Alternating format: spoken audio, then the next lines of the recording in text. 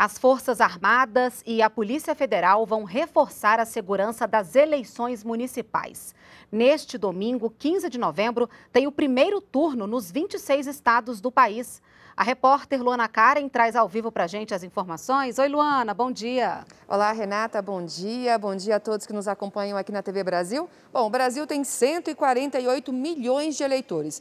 No domingo, quem tem domicílio eleitoral em algum dos 26 estados deve votar ou justificar a ausência. Somente os eleitores do Distrito Federal não precisam voltar, votar nessas eleições municipais. Já em Macapá, no Amapá, as eleições foram suspensas pelo Tribunal Superior Eleitoral por conta do apagão provocado por um incêndio em uma subestação. Um transformador de alta voltagem está sendo enviado ao Macapá e, segundo a concessionária, o restabelecimento de energia está próximo dos 90%. O TSE vai divulgar uma nova data para as eleições municipais em Macapá.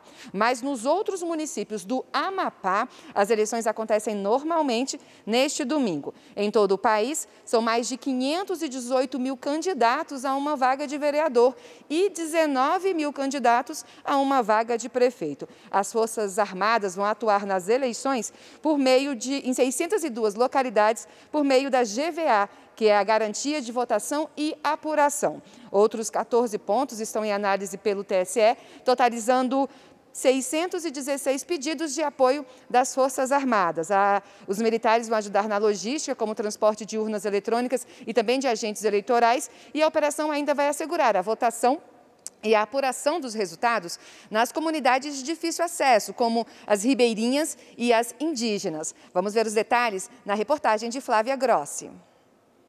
Cerca de 28 mil homens das três Forças Armadas vão atuar durante a votação e também na apuração dos votos. A operação acontecerá em 11 estados do país. São eles Acre, Alagoas, Amazonas, Ceará, Maranhão, Mato Grosso do Sul, Mato Grosso, Pará, Piauí, Rio Grande do Norte e Tocantins.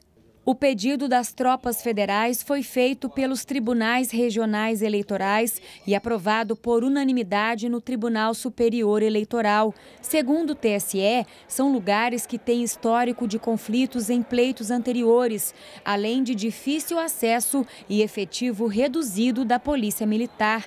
O porta-voz do Ministério da Defesa, almirante Carlos Chagas Viana Braga, fala da importância da operação mais um trabalho dentro das diversas tarefas que vão sendo feitas pelo nosso Brasil afora, mas a gente não pode se furtar a apoiar a população brasileira mais uma vez nesse processo que é tão importante, que é o processo da, da votação e das eleições. Né? A Polícia Federal também vai ajudar nas eleições municipais. Este ano, a corporação vai contar com uma novidade: o uso de drones. Os equipamentos vão sobrevoar as principais zonas eleitorais de todas as regiões do país.